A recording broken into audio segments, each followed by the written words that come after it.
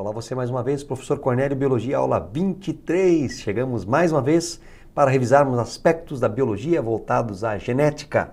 Estamos aí quase fechando os detalhes da genética, mas importantíssimo tê-lo conosco e claro, importante, importante é você estar acompanhando, curtindo as nossas aulas e se dedicando de uma melhor maneira possível para a prova do Enem 2016. Nosso objetivo, juntos, faremos a prova com você é que você realmente consiga arrasar no Enem 2016. Então eu quero que você tenha ótimos estudos que possa sanar todas as suas dúvidas. E para você que vai prestar o Enem, eu diria que essa aula de número 23 é o conteúdo explicado aqui hoje não apareceu em nenhum momento relacionado à prova do Enem desde 98. De forma direta não apareceu nada. Mas pode ser que uma comparação do que a gente vai estar vendo hoje, que é a ligação, que é o linkage, que envolve a terceira lei de Morgan com a segunda lei de Mendel, daria uma belíssima questão para o Enem. Então não significa, como nunca apareceu ainda, que de repente não apareça uma comparação entre terceira lei de Morgan e segunda lei de Mendel. Seria algo bem significativo. Mas em questão de cálculos relacionados, eu não apostaria também que isso iria estar aparecendo na tua prova do Enem claro, analisando os anos anteriores e projetando o que vai aparecer. E se aparecer, sempre explorando competência e uma habilidade por questão. E o que a gente vai estar fazendo com você hoje é revisar o quê? Os conceitos que te auxiliam na habilidade e, obviamente, na competência. Então, quero que você hoje tenha um excelente estudo e possa, sim, degustar um pouquinho mais da genética. Gente, se nós pensarmos, nós humanos temos um número 2N de cromossomo igual a 46. Ou seja, nós temos 23 pares de cromossomos. Se nós pensarmos nas características que segregam independentemente, ou seja, uma característica não depende da outra, por exemplo, o indivíduo é homem, significa que ele tem que ter cabelo claro. Tem homem de cabelo claro e cabelo escuro. Por que, que isso acontece? Porque a característica homem está num par de cromossomos, a característica cor de cabelo está lá num outro par de cromossomos. Então a segregação é independente. Como nós temos 23 pares de cromossomos, uma lógica simples. Se todas as características segregassem só de forma independente, nós teríamos no máximo 23 características. Mas são conhecidas desde o projeto Genoma, da aplicação dele e da variação do nosso DNA, mais de 20 mil características. Então não são somente 23 delas. Então, Cornélio, quer dizer que boa parte delas estão ligadas no mesmo cromossomo? Exatamente. Tem cromossomos que carregam mais de mil características. Então nós vamos ter aqui, obviamente, uma segregação dependente muito, muito mais comum que a independente. Vamos ter uma relação bastante grande, portanto, dependência entre características. Claro, existe sempre uma possibilidade de grande variabilidade, porque na hora de formar um gameta por meiose, os cromossomos podem trocar pedaços. O crossing over gerado vai garantir uma variabilidade. E a variabilidade, ela pode garantir a manutenção da espécie como tal. OK? O que nós queremos ver hoje é essa comparação com a segunda lei, que fala de segregação independente, com a terceira lei de Morgan, ou o linkage, que fala exatamente de genes que estão ligados em um mesmo cromossomo. Acompanhe conosco agora. Vamos lá? Então nós veremos o seguinte, ó, a ligação é quando dois genes estão situados no mesmo cromossomo e apresentam segregação dependente por se situarem a menos de 50 centimórgãos. Tá? Então olhem só, gente, para nós avaliarmos isso como ocorre. Numa segunda lei, nós vamos ter a chamada segregação independente para os genes localizados em cromossomos diferentes. Então funciona assim. Ó.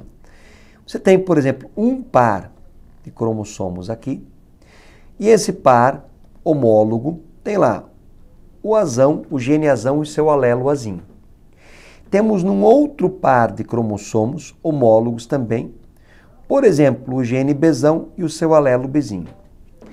Na hora da formação dos gametas, olha o que, que vai acontecer.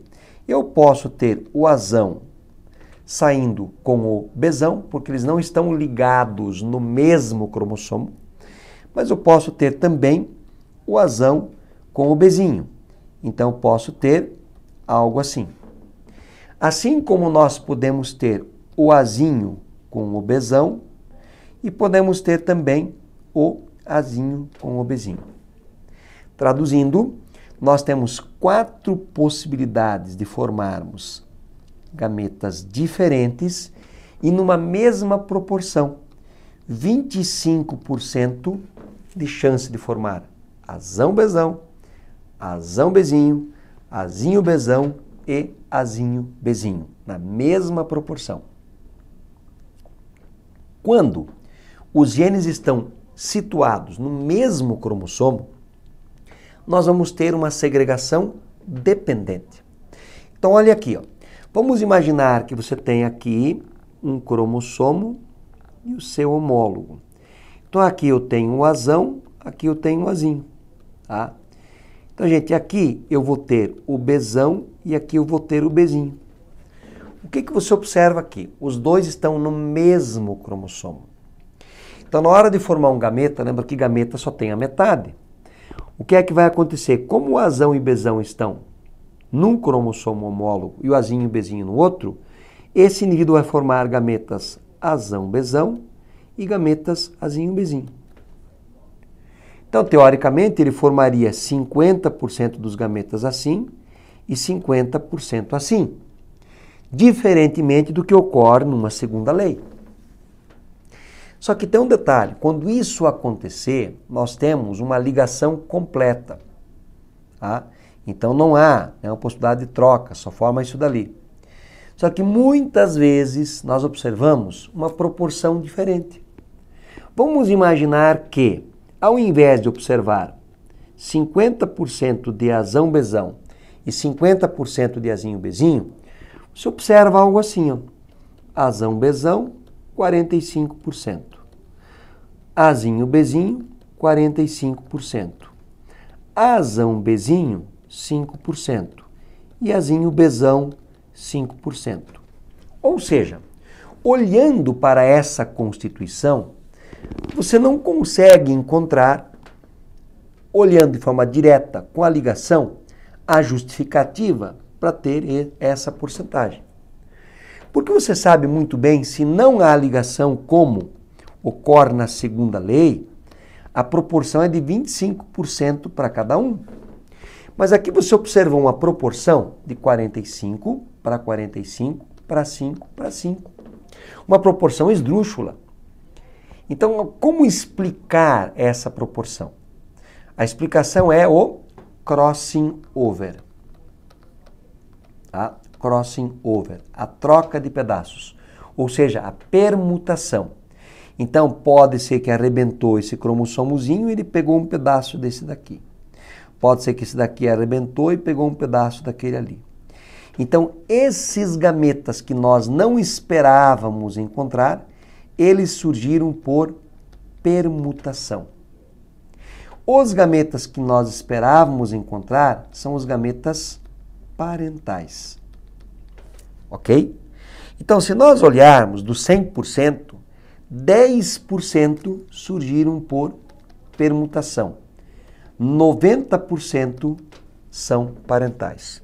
Então nós falamos que a taxa de permutação ela é de 10%. A taxa de permutação é de 10%. E essa taxa de permutação, ela é proporcional à distância entre os genes. Morgan cria é, esse padrão e diz que, por exemplo, se aqui há 10% de recombinação, significa que a distância presente entre o azão e o bezão, ou o azinho e o bezinho, essa distância aqui presente, ela é uma distância de 10 centimorgans. E uma coisa muito interessante, ó, nós colocamos que a ligação é quando dois genes estão situados no mesmo cromossomo e apresentam segregação dependente por se situarem a menos de 50 centimorgans. A distância máxima é de 50 centimorgas. Por quê? Olha só. Vamos imaginar que eu tenho um cromossomo assim e aqui eu tenho um cromossomo assim. Imaginem só que ocorreu a permutação entre eles de 10%. Tá? Então, como é que vai ficar aqui? Nós vamos ter um cromossomo branquinho com 10% de pretinho. Tá? E vamos ter um outro cromossomo todo pretinho, tá? e vamos ter ligado nele 10% de branquinho. Algo assim. Agora, vamos imaginar que aumente isso para 50%. Então, esse primeiro que era branquinho, ele vai ser metade branquinho, metade pretinho. Concordo? E o segundo ah, vai ser o quê? Metade pretinho, metade branquinho. Tá? Você fala assim, não, Cornélio, então vamos aumentar essa taxa para 90%. Ó, se aumentar para 90%, que é que vai acontecer? O branquinho vai ficar 90% pretinho e 10% branquinho. E o pretinho vai ficar 90% branquinho e 10% pretinho. Ou seja, 90% não é a mesma coisa que 10%, ó, só que aqui, ao contrário, tá? é a mesma coisa. Então a taxa máxima de recombinação é de 50%. Então uma coisa muito importante, quanto maior, quanto maior for a distância, tá? maior será a taxa de recombinação. Ok? Só que, claro, tudo isso até no máximo 50%. Então a taxa máxima de recombinação é de 50%. Vamos observar isso aqui? Ó, então aqui você tem num cromossomo o Azinho Bzinho, no outro homólogo Azão Bezão. Eles estão o quê? Ligados. Então na hora de formar os gametas, ah, esse aqui é um processo de meiose.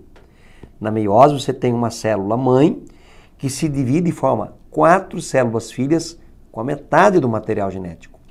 Então, o que, que nós esperamos aqui? Ó? A duplicação do material genético, você observa que ocorreu, tá? e no final você espera que só tenha azão bezão e só tenha azinho bezinho, 50% para cada. Mas não foi isso que ocorreu.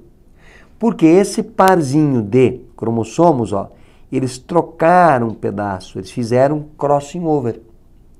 Então aqui a gente observa os quiasmas, o ponto onde está ocorrendo a troca. E você observa aqui mistura, na verdade recombinação. E no final, você que esperava somente indivíduos azão-bezão e azinho-bezinho, observa que nasceu um azinho-bezão e um azão-bezinho. Esses dois aqui são recombinantes e esses dois aqui são parentais. Traduzindo, os parentais eles representam a maioria e os recombinantes eles representam a minoria, tá? OK? Vamos lá. Então olha aqui, um caso clássico muito estudado que Morgan também estudou é o caso da mosca da banana, Drosophila melanogaster. Então você observa que o corpo dela aqui é amarelo e a asa é longa. Então assim, ó, corpo e asa. Corpo amarelo e também tem corpo preto. A asa pode ser uma asa longa e a asa pode ser uma asa vestigial. A asa é, desculpe, o corpo amarelo é determinado por pesão-pesão. Pode ser pesão-pesão ou pesão-pezinho. O corpo preto, pezinho-pezinho. A asa longa, nós vamos ter aqui vezão-vezão ou vezão-vezinho. A asa vestigial, ela vai ser pezinho-vezinho. Então aqui se pegou uma mosca pura, para o corpo amarelo e asa normal. E cruzado, uma mosca, pezinho, pezinho, vezinho, vezinho. Ou seja, preto, é, corpo preto, asa vestigial. O que, que se observa? Os gametas aqui, ó, pezão, vezão, é o único formado. E aqui, pezinho, vezinho, é o único formado. Quando se cruza, portanto, todo mundo vai ser pezão, pezinho, vezão, vezinho. Tá? Então, olhem só. Todos serão de corpo amarelo com asa vestigial. E aqui se faz um cruzamento teste. O que é um cruzamento teste? Se pega um indivíduo que tem as características dominantes, no caso, corpo amarelo com asa normal, e se cruza ele com um duplo recessivo, um indivíduo recessivo para corpo preto e asa vestigial. Ou seja, pezinho, pezinho, vezinho, vezinho, pezão, pezinho, vezão, vezinho. Então vamos lá. Olha só. Esse indivíduo aqui, que é pezão, pezinho, pezinho, vezinho, vezinho, só gerou gametas pezinho, vezinho. O indivíduo que é pezão, pezinho, vezão, vezinho, gerou gametas pezão, vezão, pezão, vezinho, pezinho, vezão e pezinho, vezinho numa proporção que nós esperávamos de 25% para cada um. Tá? Esperávamos uma segunda lei normal. Tá? Só que, olha o que aconteceu. A proporção que foi encontrada, ó, nós tivemos 41,5% de asa vestigial e corpo preto. 41,5% de asa longa e corpo amarelo. E surgiram duas coisas uma proporção diferente. Ó, 8,5 de corpo amarelo e asa vestigial e 8,5 de asa longa com corpo preto. Então, esses dois 8,5 aqui são os recombinantes e os extremos aqui são os parentais. Então, se você somar os parentais, ou seja, 41,5 mais 41,5, você vai obter o quê? 41,5 mais 41, 83. 83% são indivíduos parentais. E 8,5 mais 8,5 vai dar 17% de recombinantes. Então, qual que é a taxa de recombinação? Se é de 17%, a recombinação, a distância é de 17 unidades Morgan ou centimorgan. Tranquilo isso? Então nós observamos aqui, ó, a taxa de crossing over. Essa taxa foi de 17%. Tá? Então a ligação gênica, vamos ver aqui, ó, um detalhe. Genes não ligados. Se eu tivesse não ligação, tá? vamos imaginar aqui, ó, em cromossomos diferentes eu vou ter a mesma proporção de gametas. Se eu tiver um azão azinho, bezão bezinho, não ligados, eu tenho 25% desse, 25% desse, 25% desse e 25% desse. Aqui foi colocado em quantidade, né? mil, só para comparar. Genes ligados em posição cis e genes ligados em posição trans. O que, que é isso? Quando os genes vêm ligados, eles vêm representados assim. Se for cis, os alelos dominantes de um lado e os recessivos de outro. Se for trans, eu tenho um dominante de um lado, um excessivo do outro, um dominante de um lado, um excessivo do outro. Posso representar assim ou somente com um único traço. Tanto faz. Ok? Então a posição cis, eu tenho ambos os dominantes de um lado ambos os recessivos de outro. Posição trans, eu tenho um dominante e um recessivo, um dominante e um recessivo. Tá? Então aqui nós vamos ter a posição cis e aqui eu tenho a posição trans. Olha só como é que eu evidencio isso. Ó, na posição cis, eu vou procurar o azão bezão, o azinho bezinho. E vou verificar se eles estão em maior ou menor proporção. Essa é a técnica. Então você vai buscar o azão bezão e o azinho bezinho. E você verifica qual é a proporção. Se a proporção deles é a maior, a posição que eles se encontram é a cis. Se a proporção deles for a menor, a posição que eles se encontram é a trans. Vamos aplicar a regra. Procurei o azão bezão, o azinho bezinho. 350, 350. Enquanto que azão bezinho, azinho bezão tem 150. Então eles estão em maior porcentagem, maior proporção. Então a posição que eu tenho aqui é azão bezão traço azinho bezinho. Eu vou procurar, no outro caso, ó, genes em posição trans. Ó, azão bezão, azinho bezinho. 180, 180. O azão bezinho, azinho bezão, 320. Então eu sei que esses são parentais e esses são recombinantes. Então a posição é essa. Azão bezinho, azinho bezão. Ou seja, a posição trans. Beleza? Então para definir o que é cis, o que é trans aí. Tá? Definimos aí, tudo certinho. Acho que foi né, compreensível. O processo de divisão celular é extremamente importante nos processos biológicos. Durante a prófase da primeira divisão da meiose, os cromossomos homólogos podem passar por permutações entre si, recombinação ou crossing over, gerando gametas com uma combinação de alelos diferentes das combinações existentes nos cromossomos dos pais. A soma desses recombinantes é chamada de taxa ou frequência de recombinação. A figura a seguir exemplifica um caso de três genes, situados em um par de cromossomos homólogos. Tá? Então você tem o gene A, o B e o C. Gente, se você observar aqui, ó, aqui também, ó, são puros, seria assim, azão, azão, bezão, bezão e cesão, cesão. Gente, o A e o B estão uma distância maior, ó. O B e o C, eles estão uma distância menor. Nós vimos que maior é a distância, maior é a taxa de recombinação. Quando os genes estão muito próximos, muito próximos, tá? A taxa de recombinação ela é zero.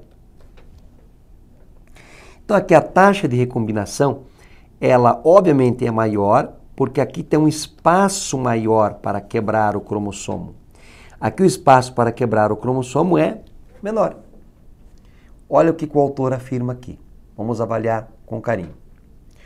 Sobre as taxas de recombinação entre esses dois lotes, verifica-se que a taxa de recombinação entre A, B e C é randomizada e inespecífica, ou seja, é aleatória, ao acaso, é randômico, sorteado aleatoriamente. Não, entre A e B eu falei que ela é maior, portanto não dá. A e C é maior? Não. A e B. Maior do que A e B? A e B é bem maior, portanto não dá. A e B é equivalente à taxa de B e C. Vamos dar uma olhada aqui, ó. Tá? A e B, beleza? Então aqui temos B e C. Tá? Então vamos dar uma olhada agora. Tá? A e B é menor do que B e C. Tá? Então nós vamos ter uma taxa de A e B, tá? equivalente aqui é B e A, gente, tá? Aqui, desculpem, aqui esse C está errado, tá? A e B é equivalente a B e A, tá? Então aqui, por ter uma distância maior entre A e B, a taxa de recombinação é maior, porque subentendam que é mais fácil de quebrar, tá? Então ela vai ser maior do que a taxa de combinação entre B e C. Beleza? Então, maior a distância, maior será essa taxa de recombinação. Próximo. Um cruzamento entre uma fêmea dupla heterozigota, azão azinho, bezão bezinho, com macho duplo recessivo, obviamente ele vai ser o quê? Azinho azinho, bezinho bezinho, revelou a seguinte proporção genotípica entre os descendentes. Gente, se é azão azinho, bezão bezinho, nós esperamos em segunda lei 25% de azão bezão, 25% de azão bezinho, 25% de azinho bezão e 25% de azinho bezinho. Só que olha o que aconteceu. 40% de azão azinho, bezão bezinho. 40% de azinho azinho, bezinho bezinho. Esses são os parentais. 10% de azão azinho, bezinho, bezinho e 10% de azinho, azinho, bezão, bezão, que são os recombinantes. Então a dica que eu havia dado para vocês antes, ó. Azão, azinho, bezão, bezinho. A posição encontrada é cis ou trans. Eu procuro, ó, o duplo homozigoto recessivo. Azinho, azinho, bezinho, bezinho. Achei. Ele está em maior ou menor proporção? Está em maior. Então a posição é qual? A posição é cis. Beleza? Então aqui eu observei que tem 40% de azão, bezão. Eu vou ter 40% de azinho, bezinho. Eu vou ter 10% de azão, bezinho e 10% de azinho, bezão. Cruzando com o indivíduo que é duplo heterozigoto, que é azinho, bezinho, ó, azinho, azinho, bezinho, bezinho, só pode formar o gameta azinho, bezinho. Então eu vou ter, ó, azão, azinho, bezão, bezinho, 40%. Aqui é 1, né, gente? Eu vou ter azinho, azinho, bezinho, bezinho, 40%. Aqui, azão, azinho, bezinho, bezinho, 10%. E aqui, azinho, azinho, bezão, bezinho, 10%. Beleza? Diz assim, ó, assim assinale a alternativa correta. Não há evidência que tenha ocorrido permutação na formação dos gametas. Claro que há. Aconteceu troca de pedaços, a recombinação, porque apareceram o quê? Algo diferente do que se esperava em proporção. Então, obviamente, falso. A segregação observada nos genes está de acordo com a segunda lei de Mendel? Não. Na segunda lei de Mendel nós esperávamos 25% de azão bezão, de azinho bezinho, de azão bezinho e de azinho bezão. E a proporção aqui foi 40 para 40 para 10 para 10. Falso. Os resultados indicam que os genes estão em ligação a uma distância de, ó, se eu tenho 10% de azão bezinho e 10% de azinho bezão, a taxa de recombinação é de 20%. E a distância entre eles é de 20 unidades Morgan. O arranjo dos genes alelos na fêmea é trans? Não. Nós vimos que é cis. Aqui está marcado cis, mas essa posição, ó, aqui, então não é trans, ela é cis. Então, falso. Ficamos com a letra C como resposta correta. Considere o indivíduo heterozigoto para dois locos gênicos que estão em linkage, ou seja, não apresentam segregação independente. A representação esquemática dos cromossomos presentes em uma de suas células somáticas em divisão mitótica é. Então, olha só, ele falou que, ó, vamos lá, considere o indivíduo heterozigoto para dois locos gênicos. Então, por exemplo, o indivíduo é assim, tá? e você tem aqui, né, Olha, estão ligados. Então teria algo assim, por exemplo. Beleza? É, ou seja, não apresentam segregação independente. Eles não estão assim. Ó. Segregação independente seria dessa maneira aqui. Você tem aqui um par e aqui no outro, o outro par. Tá? A representação esquemática dos cromossomos presentes em uma de suas células somáticas em divisão mitótica ou seja, quando faz cópias exatas. Vai ser qual? Tá? Então, a representação clássica né, que nós vamos ter aqui. Então, gente, se nós observarmos aqui, esses genes, né, é, eles estão ligados em um mesmo cromossomo. Tá? Então, se nós vamos ter genes ligados em um mesmo cromossomo, nós temos o azão com o bezão, o azinho com o bezinho, tá? E como aconteceu um processo mitótico, tá? então nós temos que procurar a ligação. Aqui nós temos ligação. Beleza? Aqui, ó, só que são heterozigotos, então aqui já dá homozigoto. Azão com azão não daria. Tem que ser heterozigoto, tem que ser azão azinho. Ó, azão azinho. Beleza? Então nós vamos ter o quê? O azão azinho, o heterozigoto, e ele falou que estão ligados no mesmo cromossomo, a ligação. Então não posso colocá-los em cromossomos diferentes. Tá? Então se você voltar aqui, ó, considere um dídeo heterozigoto para os dois locos gêmeos que estão em linkage, ou seja, não apresentam segregação independente. Então não posso colocá-lo separado, tem que colocar grudado no mesmo. Então a alternativa mais viável, grudados no mesmo. Tá? Aqui faltaram as letras, né? Então aqui é, marcamos é, C, mas aqui não apareceram as letras para você.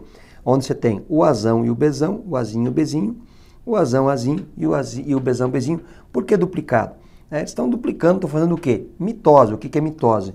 Uma célula mãe se divide e forma duas células filhas idênticas. Ok? Então aqui nós fechamos né, mais um detalhezinho básico da genética. Eu espero que vocês tenham aproveitado, revisando terceira lei linkage, terceira lei de Morgan. Um grande abraço a todos. Até o próximo encontro.